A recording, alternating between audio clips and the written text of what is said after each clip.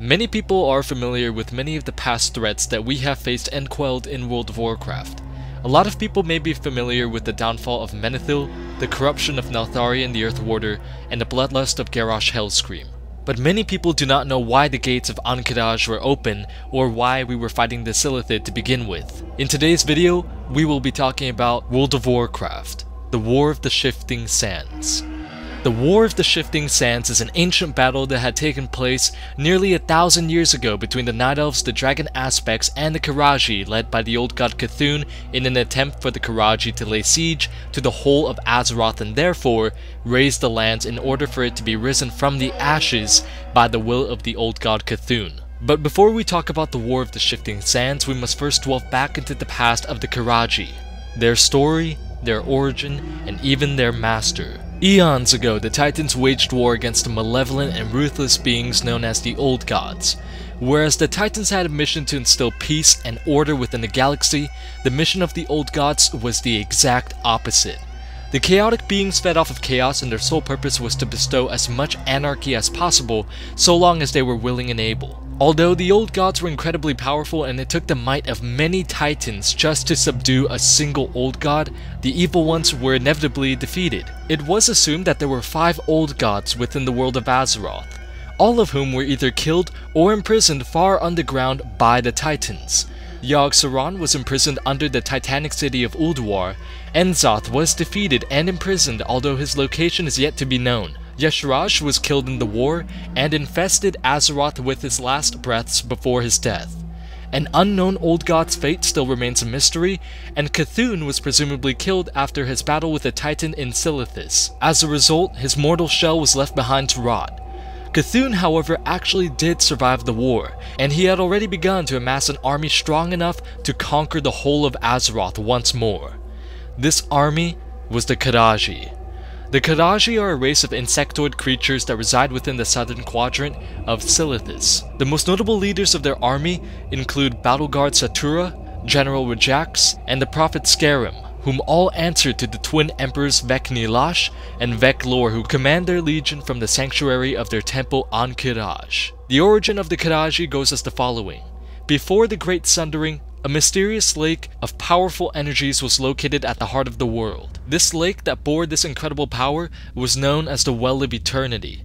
From this magical ether, the Silithid were born into the world of Azeroth, and when they made their presence known to the old god Cthulhu, Cthulhu became very interested in their race's capabilities and vowed to sunder the world in an unmerciful grasp once more with the aid of these insectoid creatures. The Old One created avatars from the Silithid in its own image, grotesque yet menacing and powerful.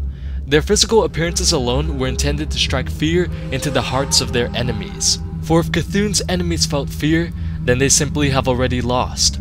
These avatars were known as the Aqir, and before their culture was shattered, the race of the Aqir consisted of the Nerubians, the Silithid, and also the Mantid. The Aqir were intelligent insectoids, but they were also greatly expansionistic and incredibly evil. These spawns of Cthulhu were obsessed with eradicating all non-insect life from the lands of Kalimdor, and it is because of this major obsession that the Aqir in time developed a mighty enemy that threatened to destroy the whole of their empire. This mighty enemy was the Trolls, for it was in this time that the Gurubashi and Amani empires ruled the lands. The Aqir waged war against the Trolls, and this war lasted for thousands of years.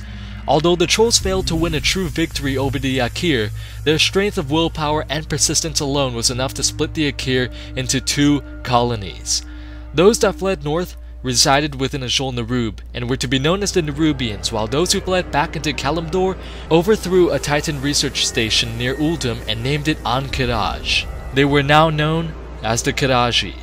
With the Aqir driven into complete exile, the twin troll empires resumed complete dominion over their lands, thinking themselves victorious while the old one remained hidden below, waiting for the right time to establish his grasp upon the world of the living once more. Time flowed and thousands of years passed before the threat of the Qiraji made itself present once more. Cthulhu and his armies once again pursued the crusade in purging the lands of Azeroth from any non-insectoid life. The world, which was once under the shroud of the trolls, was now in the control of the Night Elves, the only humanoid species that posed themselves as a threat to the Old One's plans. Unfortunately, even the Night Elves were facing a losing war. Whereas the Trolls were able to stand their ground for thousands of years, the Night Elves were facing devastating losses within only a few months. The Night Elves were always on the defensive, they were always outnumbered, and they were always being driven back. Within a few weeks, the whole of Silithus and Un'Goro were engulfed by the Qiraji. The Elven army were forced to retreat all the way to the borders of Tanaris where their leader, Fandral Staghelm, sought the aid of the Bronze Dragonflight.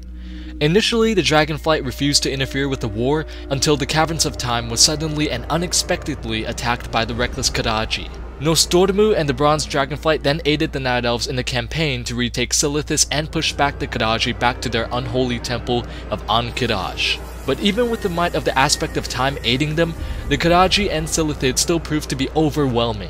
Anachronos, Nozdormu's heir, then proceeded to call upon the aid of the remaining Dragonflights, but even with all of the Dragonflights aiding the Night Elves, the Qiraji were still on the victorious side of the war. Their numbers were unending and their power was beyond measure, for the old god Cthulhu chose his subjects well. The dragons and Staghelm then became desperate, and together they devised a plan to end this war once and for all. Their plan was to contain the Qiraji within the city, by creating a barrier that would confine them until a more hopeful stratagem could be devised. With the blessing and aid of Elune, the barrier was erected before their eyes, and it separated the Qiraji's armies which caused them to suffer a devastating defeat. The winged Qiraji who attempted to fly over the barrier were met with an invisible obstruction that they could not bypass, while the Qiraji who were trapped on the outside were quickly slaughtered by the dragons and the Night Elves. The Dragonflights then stated to Fandral that should anyone wish to gain entrance into this ancient city and bypass the magical barrier which isolated it from Azeroth, all they need do is to strike the scepter which contained the sole source of the magical barrier against the gong, and the gates of Ahn'Qiraj would be open. Fandral, still fueled by the rage of the soldiers that he had lost in this accursed war, took the scepter and broke it in an attempt to contain the threat for all eternity. This action and event angered the Bronze Dragonflight and created a rift between the allies that has existed even to this day. It took the might of all of the Dragonflights and the Night Elves to simply contain the Qiraji, not defeat them, but contain them. And as the old god Cthulhu that slumbered below slowly awakened, so too did the Qiraji Empire prove to be a threat once more. Empowered by their Dark Master, the Insectoid Legion prepared their army for a worldwide assault to avenge their bitter defeat at the hands of both the Night Elves and the Trolls thousands of years ago. As the gates of the Forgotten City were unlocked, the horde of Qiraji were unleashed and the heroes of Azeroth rallied together in a mission to push back the Qiraji once more and to battle their way into their lair, where they could finally put an end to Cthulhu's tyranny once and for all.